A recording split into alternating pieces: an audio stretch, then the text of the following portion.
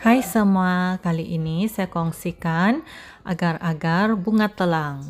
Ini adalah bunga telang ya, bagus untuk kesehatan, boleh menurunkan darah tinggi dan mengurangkan kandungan gula bagi yang kencing manis.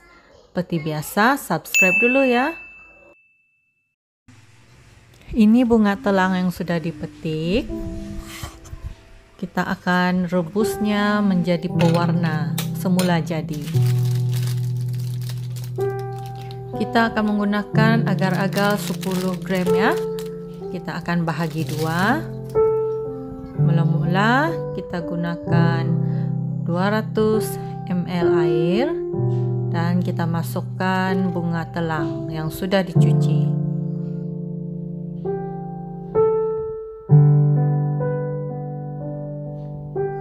Tambahkan satu setengah sudu gula.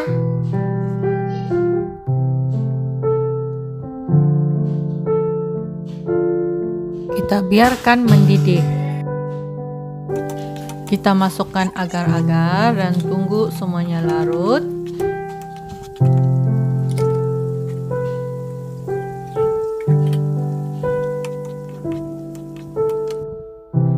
Jika terkurang air, kita tambahkan lagi 50 ml dan tambahkan separuh sudu gula lagi dan tunggu sehingga mendidih. Jika sudah mendidih, kita tutup api ya.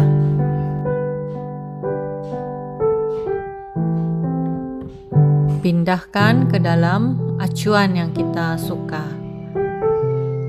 Kita sejukkan dahulu Kemudian kita masak adunan yang kedua.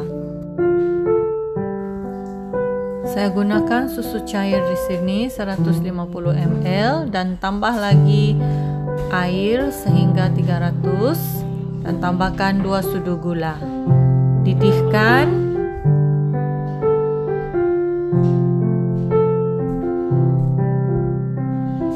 Untuk rasa lebih sedap dan wangi, kita tambahkan daun pandan dan terus masukkan agar-agar.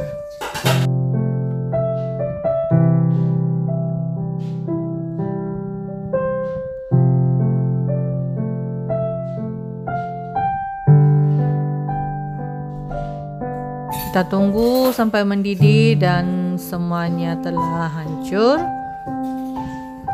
Kemudian kita tutup apinya.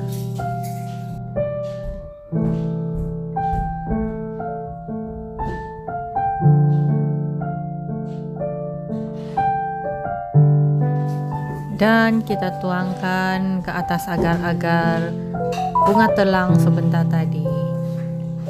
Kita sejukkan. Dah siap. Selamat mencoba. Terima kasih ya karena menonton. Setelah keras, kita terbalikkan dan potong-potong. Boleh dinikmati bersama air bunga telang ya. Kita siram sahaja bunga dengan air panas akan menjadi seperti ini. Selamat mencoba.